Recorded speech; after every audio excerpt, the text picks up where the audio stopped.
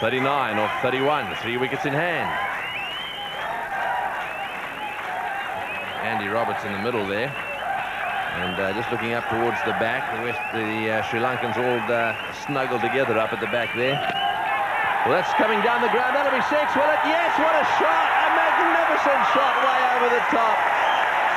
Well, Tillakaratne is having a little blinder. He's really taken the pressure off by hitting that one straight down the ground.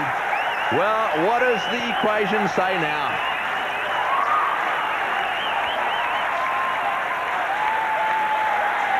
Well, Phil Simmons is not too happy with that. But he's gave to Tillakaratne just a bit too much room outside the off stump. The length, the line, both incorrect.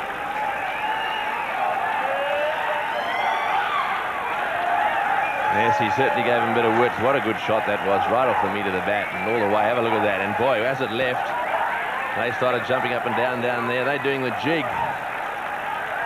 And there it is, 33 of 30. Three wickets in hand.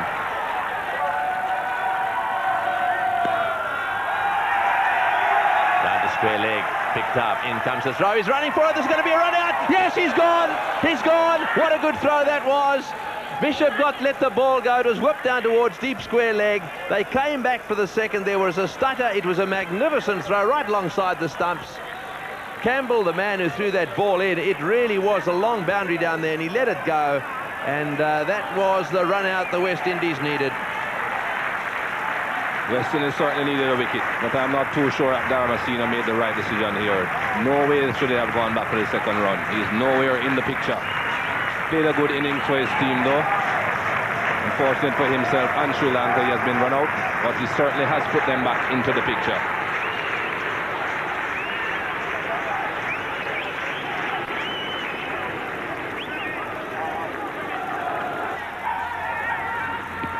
All big appeal for LBW, and they're taking the leg by. It couldn't have been far away. A lot of pressure here on Phil Simmons. I think just missing leg. Oh, it's well bowled. They're running. Will he ever throw at the stumps? No, he can't. There's no way he can ever throw at those stumps. So another single. Well, that's the end of the over. And uh, a sigh of relief, I would have thought, for Otis Gibson. Not a bad over, actually. So, now we're down to the last one. Eight runs, six balls, and one wicket.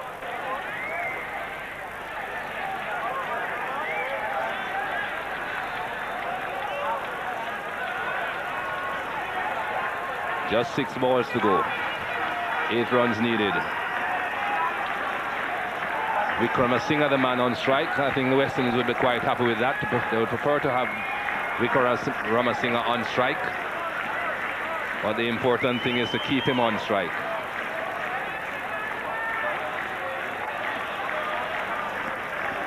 Right. Now we are down to the crunch.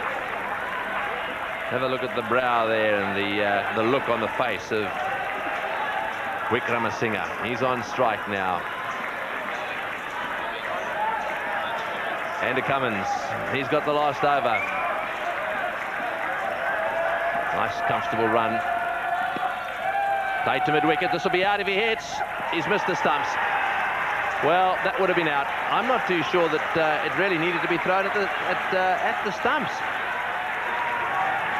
a big chance of a run out that was. That could have been the difference. Just watch this. Andy Cummins was right beside the stumps. He could have thrown it to Andy Cummins and he had enough time to take the bails off. But instead he tried to hit the stumps, Richard Richardson, and missed. That's what pressure does. Seven runs, five balls. Can't allow him to hit it before. Get it up there, Andy. It's in the air. It's going down the ground. They won't get three. They, will they get two? It's picked up. In comes the throw down the other end. They've got two. A big cheer goes up here. One would have thought they'd won the game. I can see the Sri Lankan ambassador down there. He's on his feet cheering. That's His Highness Sim Simsuddin down there, and he's giving it heaps. They're having a ball.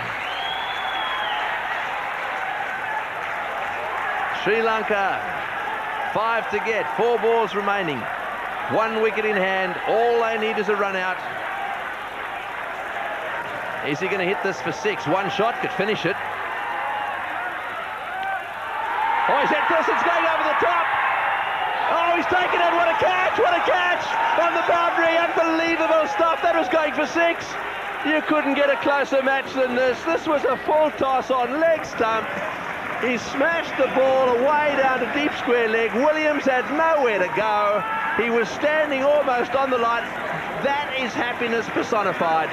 Williams stood there, couldn't move, about to watch it go over the top of his head, and he latched onto it. It was unbelievable. Have a look at this. There it goes. Williams is on the boundary. He's moving back.